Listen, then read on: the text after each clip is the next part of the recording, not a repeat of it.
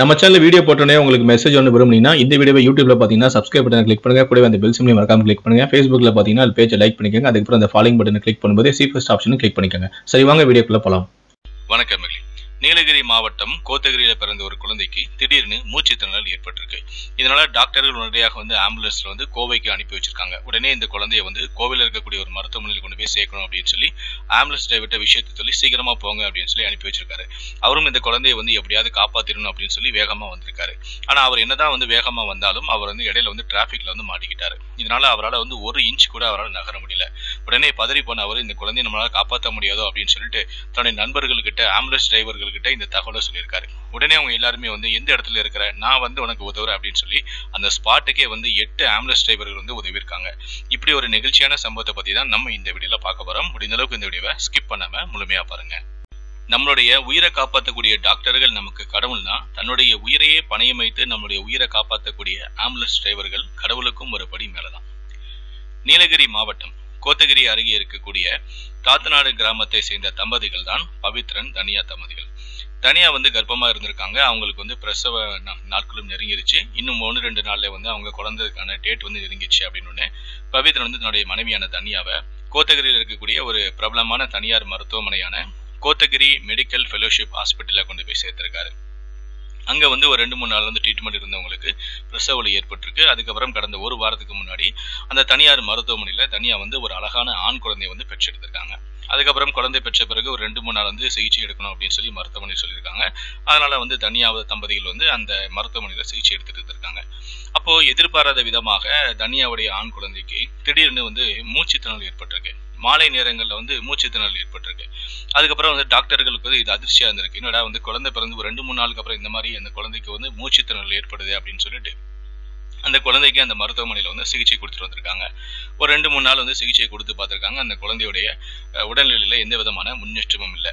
கடந்த இரண்டு நாளைக்கு முன்னாடி வந்து உடல்நிலை ரொம்ப மோசமாயிடுச்சு அப்போ வந்து அந்த குழந்தையோடைய குழந்தையால் வந்து சுவாசிக்கவே முடியல. அந்த குழந்தை வந்து சுவாசிக்கிறதுக்கே வந்து ரொம்ப சிரமம் பட்டுச்சு. உடனே இதை பரிசோதித்த மருத்துவர்களுக்கு அதிர்ச்சியாக இருந்துச்சு. உடனே வந்து நம்ம இது வந்து மேல் சிகிச்சைக்காக நம்ம கோவிலில் இருக்கக்கூடிய அந்த மருத்துவமனைக்கு அழைச்சிட்டு போகணும் அப்படிங்கிற மாதிரி முடிவு பண்ணுறாங்க உடனே வந்து ஆம்புலன்ஸுக்கான ஏற்பாடுகளும் செய்கிறாங்க அப்போ வந்து ஆம்புலன்ஸ் டிரைவரான அக்கீம் தான் வராரு. அந்த அந்த குழந்தைய வந்து இந்த கோத்தகிரி ஹாஸ்பிட்டலில் இருந்து கோவைக்கு கொண்டு போகிறதுக்காக நம்ம ஆம்புலன்ஸ் டிரைவரான அக்கீம் தான் வராரு. அவர்கிட்ட வந்து அவர் அழைச்சிட்டு வந்த மருத்துவர்கள் வந்து இந்த குழந்தையோடைய நோய் பாதிப்பு தீவிரத்தை வந்து எடுத்து சொல்றாங்க. இந்த குழந்தை ரொம்ப மோசமாயிடுச்சுப்பா அந்த குழந்தையால வந்து உடல்நிலை வந்து ரொம்ப மோசமாயிடுச்சு அந்த குழந்தையால சுவாசிக்கவே முடியல. ரொம்ப சிரமமா இருக்கு.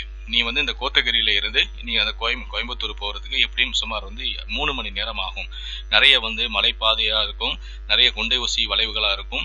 ஸோ இந்த மாதிரி விஷயங்கள் எல்லாம் நீ வந்து கவனித்து கொண்டு எவ்வளவு சீக்கிரமாக உன்னால் போக முடியுமோ அவ்வளோ சீக்கிரமாக போப்பா.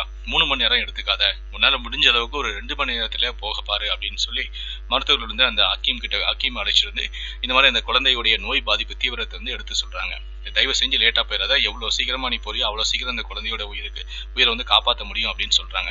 உடனே அக்கீம் வந்து சரி நான் என்னால் என்னுடைய உயிரை நான் பணையம் வைத்து கூட இந்த குழந்தையோட உயிரை நான் காப்பாற்றிடுவேன் அப்படின்னு சொல்லிட்டு சரியாக வந்து அந்த கோதகிரி ஹாஸ்பிட்டல் இருந்து இரவு வந்து ஒரு ஏழு மணிக்கு கிளம்புறாரு.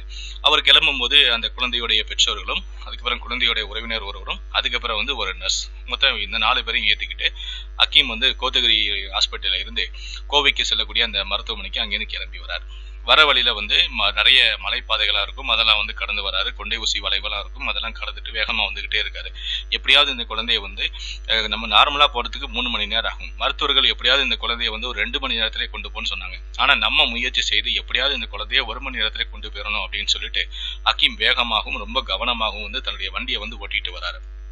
அவர் என்னதான் வந்து வேகமாகவும் கவனமாகவும் ஓட்டிட்டு வந்தாலும் அவர் வந்து கரெக்டாக வந்து அந்த மலைப்பாதையை கடந்து மேட்டுப்பாளையம் வரும்போது ஓடத்துறை அப்படிங்கிற பகுதியில் வந்து கடுமையான போக்குவரத்து நெரிசல். அந்த ஆம்புலன்ஸால் வந்து ஒரு இன்ச்சு கூட நகர முடியல. என்னடா இது நம்ம இவ்வளோ தூரம் நம்ம வந்து இந்த மலைப்பாதை பகுதியும் இந்த கொண்டை ஊசி வளைவுகளையும் நம்மளுடைய உயிரை வந்து பணையம் வச்சுட்டு நம்ம வேகமாக ஓட்டிட்டு வந்தோமே.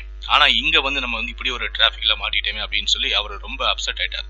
என்னடா இது இப்படி நம்ம நம்ம மாட்டிக்கிச்சே இந்த குழந்தையோட உயிரை நம்ம எப்படி காப்பாற்ற போறோம்? நம்ம எப்படியாவது ஒரு மணி நேரத்தில் போகணும்னு நினைச்சோமே இப்படி ஆகி போச்சு அப்படின்னு சொல்லி ரொம்ப சைரன் ஒலியெல்லாம் அதிகமாக வச்சு பார்க்குறாரு ஆனால் டிராஃபிக் வந்து கிளியர் ஆன மாதிரி தெரியல. உடனே இந்த விஷயத்தை வந்து தன்னுடைய சக ஆம்புலன்ஸ் டிரைவர்களுக்கு சொல்றாரு. அதாவது மேட்டுப்பாளத்தில் இருக்கக்கூடிய சக ஆம்புலன்ஸ் ஓட்டுநர்களுக்கு இந்த தகவல் வந்து சொல்றாரு. நான் இந்த மாதிரி வந்து ஒரு குழந்தை வந்து இந்த கோவை மருத்துவமனைக்கு கொண்டு வந்த பிறந்த குழந்தை ஒரு வாரம் தான் ஆகுது. அந்த குழந்தைக்கு பயங்கரமான மூச்சு திறனல் ஒரு ஹவர் கூட நான் உனக்கு சேர்க்கலன்னா அந்த குழந்தையோட உயிருக்கு ரொம்ப ஆபத்தாயிரும்.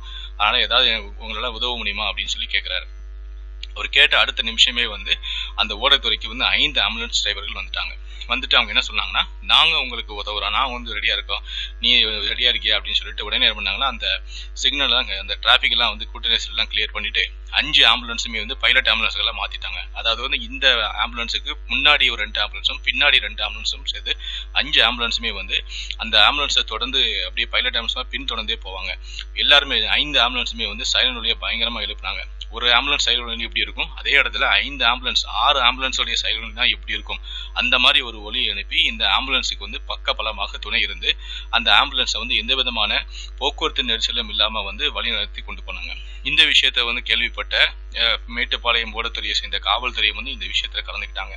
அவங்களும் உடனடியாக வந்து போக்குவரத்து நெரிசல் எல்லாம் கிளியர் பண்ணிட்டு இந்த ஆம்புலன்ஸுக்கு ஏற்ற மாதிரியான வழிகளையும் ஏற்படுத்தி கொடுத்தாங்க. இந்த ஆம்புலன்ஸ் எல்லாமே இந்த ஐந்து ஆம்புலன்ஸ் வந்து பார்த்தீங்கன்னா மேட்டுப்பாளையம் ஓடத்துறையில் இருந்து காரமடை வரைக்கும் வந்தாங்க. அதுக்கப்புறம் வந்து அவங்க வந்து அவங்க வந்து நாங்கள் அதுக்கு அது வரைக்கும் வந்து எந்த விதமான பிரச்சனையும் இல்லாமல் வழி ஏற்படுத்தி கொடுத்து அவங்கள காரமடை வரைக்கும் வந்துட்டு வழி அனுப்பி வச்சுட்டாங்க. அதுக்கப்புறமும் என்ன பண்ண அதுக்கப்புறம் என்னாச்சு அப்படின்னு பார்த்தீங்கன்னா அதுக்கு கோவில் பாளையம் சரவணப்பட்டி அப்படின்னு அந்த கோவைக்கு போகக்கூடிய வழியில் இருக்கக்கூடிய ஊர்களில் இருக்கக்கூடிய ஆம்புலன்ஸ் எல்லாருமே வந்து இவங்களோட ஜாயின் பண்ணிக்கிட்டாங்க. இப்படி ஒவ்வொரு ஊர்லேயும் வந்து ஒவ்வொரு ஆம்புலன்ஸ் டிரைவர்களும் வந்து இவங்களுடைய கை கோர்த்து ஒரு பைலட் ஆம்புலன்ஸாக மாறி போக்குவரத்து நெரிசல் இல்லாமல் எந்த விதமான போக்குவரத்து நெரிசலையும் சிக்க விடாமல் சைரன் ஒலி அதிகமாக வச்சு அவங்களுக்கு வழியை ஏற்படுத்தி கொடுத்தாங்க. இந்த மாதிரி ஆம்புலன்ஸ் வருது இந்த மாதிரி குழந்தைய அழைச்சிட்டு வராங்க இந்த குழந்தையோட உயிருக்கு ரொம்ப ஆபத்து மூச்சுத்திறனோட வருது அப்படிங்கிற விஷயம் வந்து எப்படி வந்து ஒவ்வொரு ஊர்லேயும் இருக்கக்கூடிய அந்த ஆம்புலன்ஸ் டிரைவர்களுக்கு தெரிய வைக்க தெரிய தெரிய வைக்குதோ அதே போலதான் வந்து அந்த ஊரில் இருக்கக்கூடிய காவல்துறைக்கும் இந்த தகவல் வந்து தெரிவிக்கப்படுது. அவங்களும் உடனடியாக ஸ்பாட்டுக்கு வந்து எந்த விதமான போக்குவரத்து நெரிசலும் இல்லாமல் வந்து டிராஃபிக்கை வந்து கிளியர் பண்ணி விடுறாங்க.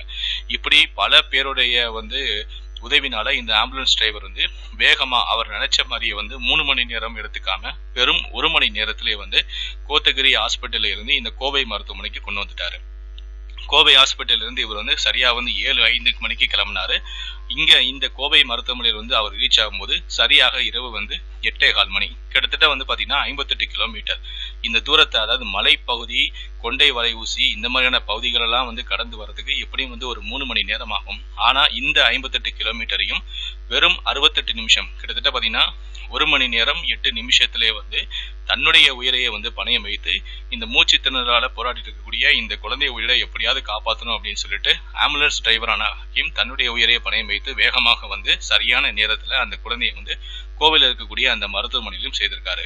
இப்போ அந்த குழந்தையுடைய உடல்நிலை வந்து நல்லபடியான ஒரு முன்னேற்றம் இருக்கு அப்படிங்கிற மாதிரி தகவலும் வந்திருக்கு. இதை கேட்ட அக்கீமுக்கு ரொம்ப சந்தோஷம். நம்மளோட ஒரு உயிரை வந்து நம்ம காப்பாத்திட்டோம். நம்மளுடைய உயிரை வந்து பணையம் வச்சுட்டு இந்த நம்ம காப்பாத்திட்டோம் அப்படிங்கிற அவருக்கு வந்து த- தன்னறியாத ஒரு சந்தோஷம். அது மட்டும் இல்ல இந்த விஷயத்தை கேள்விப்பட்ட இவங்க இவங்க இந்த முயற்சியில வந்து பங்கெடுத்த அனைவருக்குமே வந்து ரொம்ப மகிழ்ச்சியான ஒரு விஷயம். எல்லாருமே வந்து விஷயத்தை கேள்விப்பட்டு ரொம்ப சந்தோஷப்பட்டாங்க.